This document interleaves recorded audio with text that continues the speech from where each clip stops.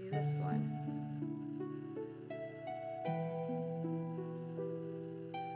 See now this one I don't see.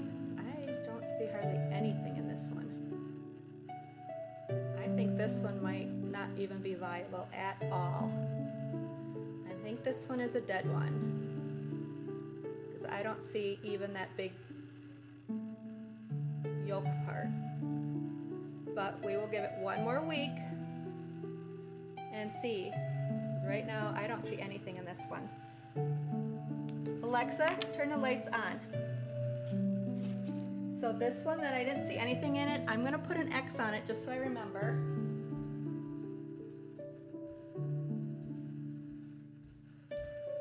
Now the other ones, I'm gonna put a question mark.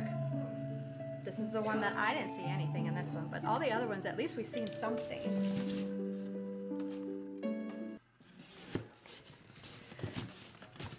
Looking promising. All right. So we did pretty good. The incubator only got down to 99 degrees.